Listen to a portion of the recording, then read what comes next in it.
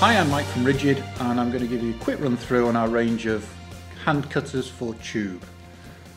Starting off on the board here is our quick acting style. These are uh, on a slide bar so you can engage the tube quickly. Moving down here, these are what we call a constant swing cutter, allow you to add the feed as well as turn the cutter at the same time. Big chap in the middle here, six inch uh, plastic cutter with the large diameter plastic wheel. Over on the right hand side here we've got the two cutters from the stainless steel offering.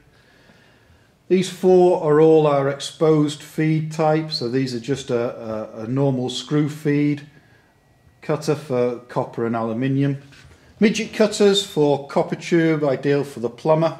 And then after you've done your cutting, you're going to need a reamer. So two stainless steel reamers for in and outer work. And over here are reamers for plastic and for copper.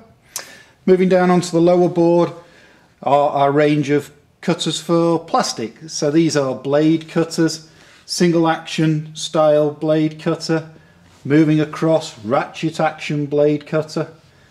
Lower down here, pistol grip style blade cutters, ratchet action. And over on the right hand side are the two later offerings from ourselves which are cutting and beveling in one action, ideal for plastic waste pipe.